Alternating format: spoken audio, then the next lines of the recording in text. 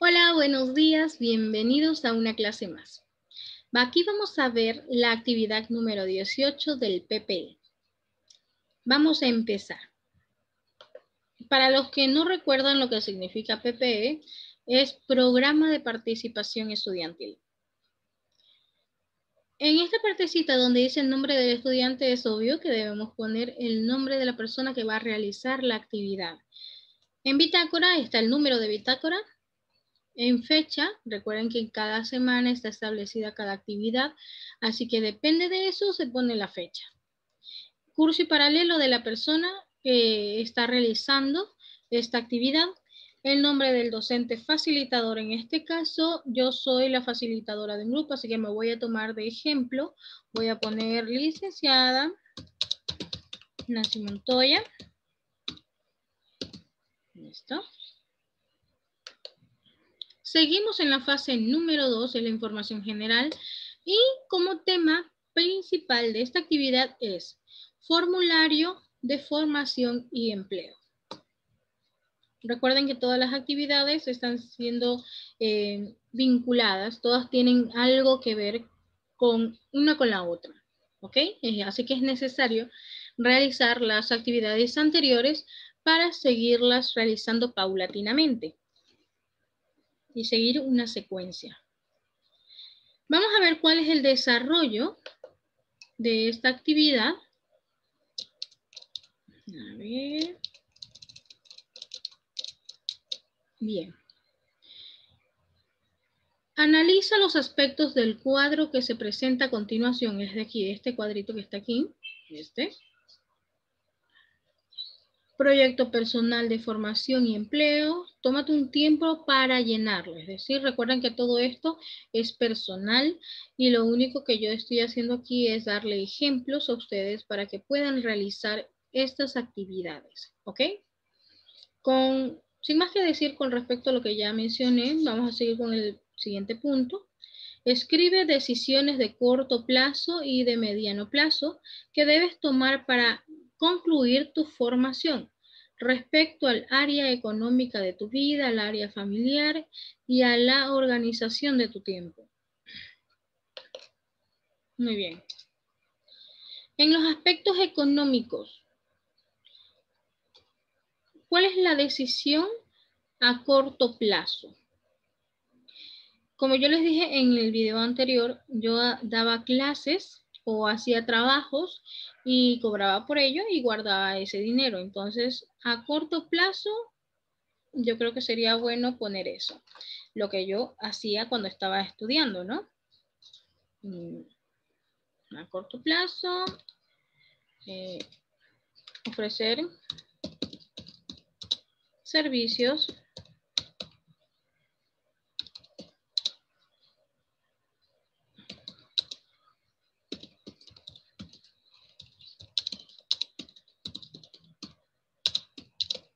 y cobrar y ahorrar. Bien. Vamos a combinar, listo.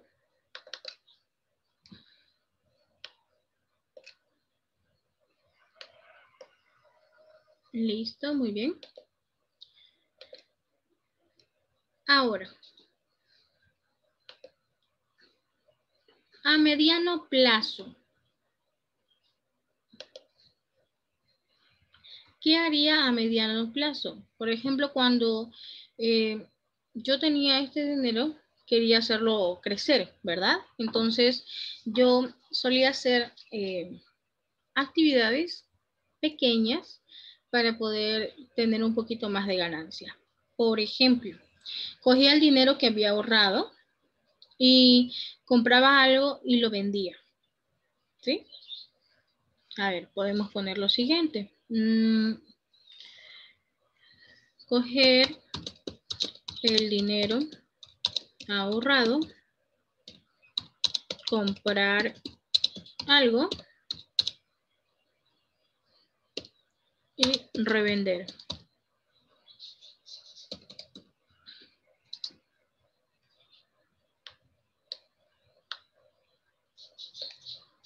¿Listo?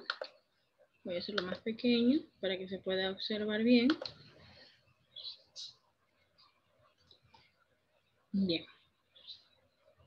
Ahora el aspecto familiar.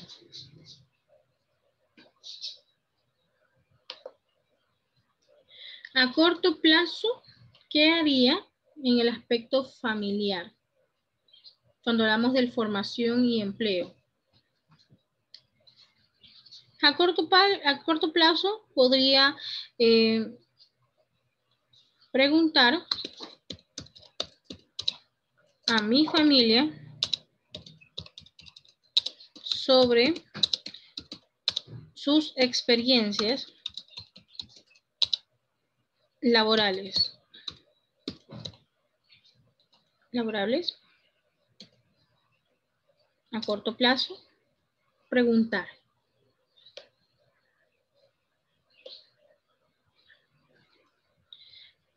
A mediano plazo,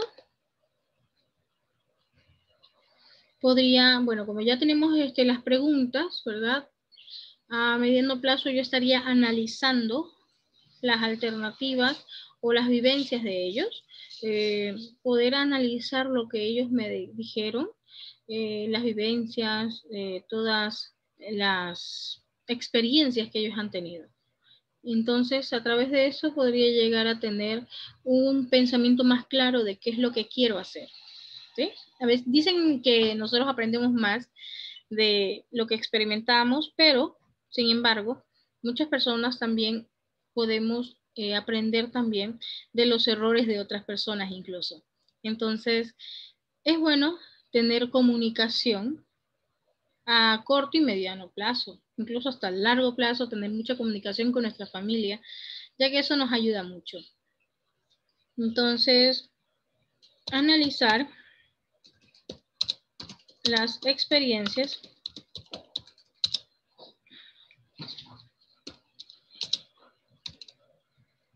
y llegar a tener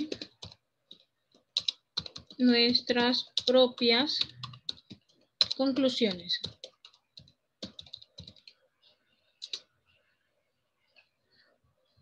Vamos a hacer esto un poquito más grandecito para que pueda entrar todo. Muy bien. En el otro punto nos dice lo siguiente. Organización del tiempo. ¿Cómo le haría a corto plazo? Bueno, en mi caso, yo realicé una especie de horarios.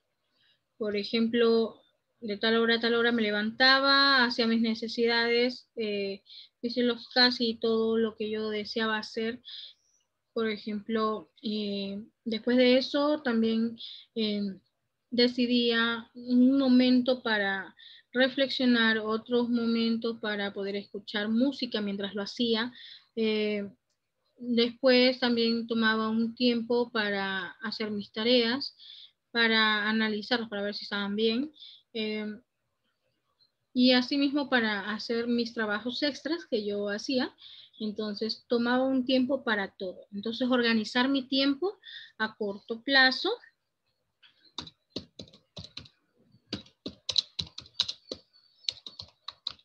Organizar mi tiempo.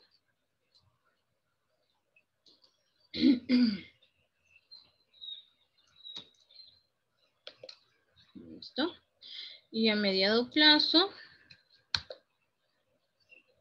como ya organicé mi tiempo, creo que deberíamos ir un poquito más allá y eh, no solamente organizarlo, sino eh, incluir ciertas normas.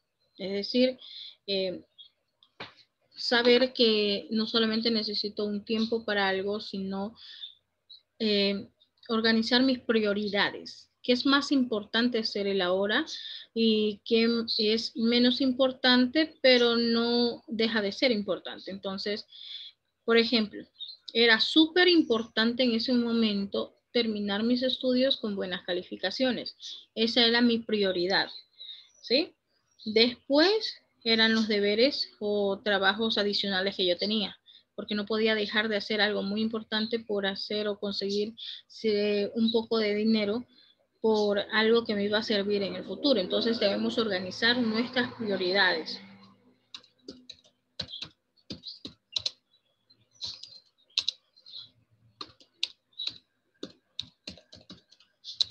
Mis prioridades de vida. ¿Listo? Entonces ahí yo terminaría con el cuadro. A ver. Vamos a ponerle otro colorcito aquí para saber que esto es lo que hemos llenado y esto es lo que está diciendo, ¿verdad? Listo. Ya terminaríamos ahí con el cuadro que nos están pidiendo. Terminaríamos y empezaríamos la siguiente. Son unas preguntas las cuales debemos reflexionar y luego responder. Aquí. Reflexiona y responde las siguientes preguntas debajo del cuadro, después del cuadro que nosotros hicimos ahorita. Dice la pregunta.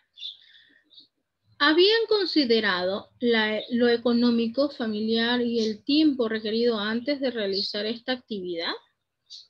No, realmente no. Porque nadie, en especial si, si es reciente que estamos haciendo algo, no consideramos muchas cosas. Entonces, mm, no estamos realmente seguros de lo que vamos a hacer y también de lo que necesitamos. Hasta que se nos plantean preguntas sobre esto y nos ponemos a pensar. Así que poniéndonos eh, en el contexto del estudiante, no vemos, eh, no vamos a considerar en esos momentos lo económico, porque en especial las personas que han tenido padres que los han ayudado, entonces no ven que les haya faltado nada económico, entonces no lo toman en consideración porque simplemente no les hace falta. Pero a los alumnos, de que los padres desde un principio a ellos han visto cómo han sudado para obtener el dinero para darles para sus estudios, entonces sí consideran lo económico, ya que algunas eh, especialidades son más caras que otras ya sea por las copias que tienen que sacar o por los materiales que deben comprar. Por ejemplo, si es en medicina, es una gastadera de dinero bastante fuerte. Entonces, como les dije, eso depende de las personas que estén realizando esta actividad. Entonces, cuando a mí no me ha faltado dinero, en el momento de hacer esta actividad, yo no voy a pensar en lo económico hasta que me lo plantean. Por eso recién me lo están planteando, entonces como que caigo en cuenta que sí, necesito dinero para hacer todas mis metas. Entonces, pongamos aquí. Vamos a enfocarme eh, voy a decir que soy una alumna la cual eh, sé que es difícil obtener ingresos económicos, en especial ahora en esta pandemia. ¿sí? Entonces vamos a poner no. A ver. No he, no, no he considerado esos aspectos antes de que me los planteara.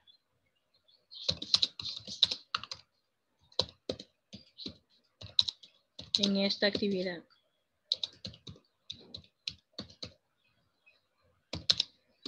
Ya que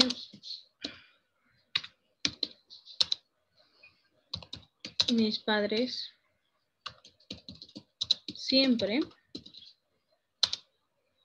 eh, han suplido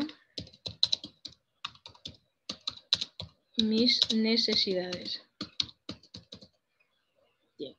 Mm, planteándonos así de un alumno que nunca le ha faltado nada, ¿verdad? En el caso de que sea un alumno que ha dado, se ha dado cuenta de las necesidades que ha tenido, vamos a poner en cuenta esto. Sí.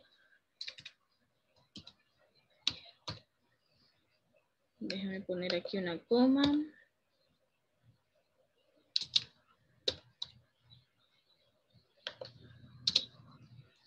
sí lo he considerado.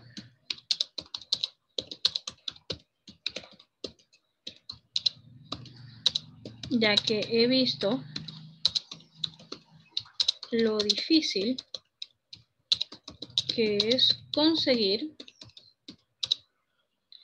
los medios económicos necesarios para suplir las necesidades básicas.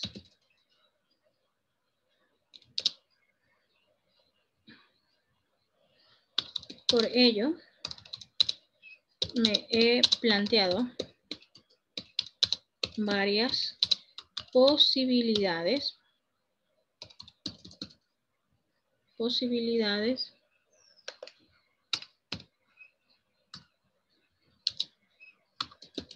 para conseguir un empleo de medio tiempo. O vender algún producto. Ofrecer servicio.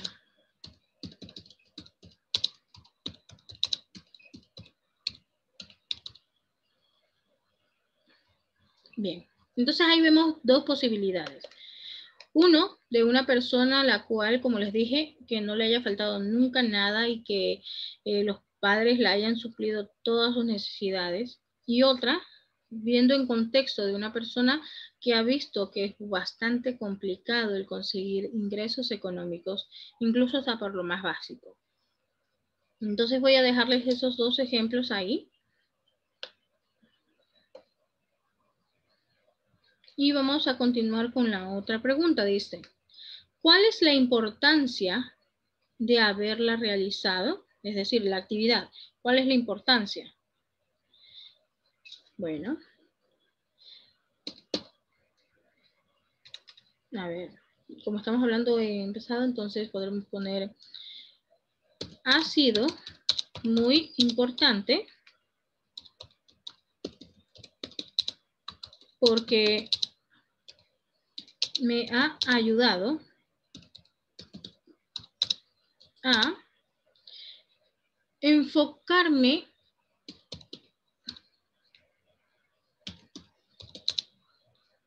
en mis metas y cómo alcanzarlas.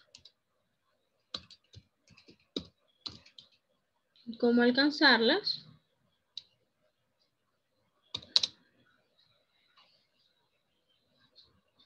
Está ahí nomás. Suficiente. En la parte de abajo dice otra pregunta. ¿Crees que analizar estos aspectos de una manera realista te ayudará a tomar mejores decisiones? Por supuesto que sí, porque no siempre vamos a tener a nuestros padres para que nos estén facilitando la vida. Porque empezando la universidad empezamos a ser adultos y cuando somos adultos tenemos responsabilidades, también tenemos eh, cosas que, que debemos realizar. Entonces, vamos a poner lo siguiente. Por supuesto que sí, ya que no siempre obtendremos ayuda de nuestros padres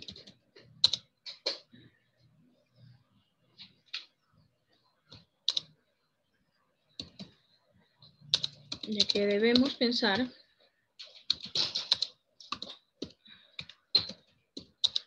en que es momento de ayudarlos a ellos por ejemplo, ¿no? Y después, en la siguiente partecita, eh, debemos analizar, con esto ya terminamos este cuadrito, ¿no? Dice, analiza el contexto de la situación de la comunidad. Eso solamente es un, eh, ese es un, un mensaje en la cual dice, analiza el contexto de tu situación, de la comunidad de tu país y del mundo. Te permite tomar decisiones de acuerdo a la realidad. En el siguiente punto nos dice, vamos más allá. Tenemos lo siguiente. Como hemos analizado anteriormente, el proceso de construcción de proyecto de vida debe ser autónomo. Es necesario tener siempre un criterio realista, puesto que no podemos tomar decisiones apresuradas que complicarán la realidad de nuestras vidas y que probablemente sean factores que impedirán que cumplamos nuestras metas. Y como reto tenemos la siguiente. Siempre debes analizar tu entorno, tu realidad personal antes de tomar una decisión a corto, mediano y largo plazo. Es parte de la madurez ir tomando y tomando decisiones a conciencia, pues que si tomas decisiones a la ligera puede ocurrir que pronto te frustres por no cumplir las metas que te propones. Es mejor ir paso a paso que apresurarte a, algo para que para algo que no estás listo o lista. Eso es lo que ya habíamos mencionado antes, ¿recuerdan? Y como último de esta actividad tenemos lo mismo que en las anteriores, que debemos reflexionar las actividades, poner nuestro criterio personal en cada una de estas preguntas respondiéndolas, firmando y nunca olvidar que todas estas bitácoras tenemos que guardarlas, anexar fotografías, recortes eh, u otros recursos que desees utilizar. Entonces todo esto tenemos que guardarlo, ¿verdad? Esta es la finalización de este video, así que les agradezco por la atención y conmigo será hasta la próxima. Adiós.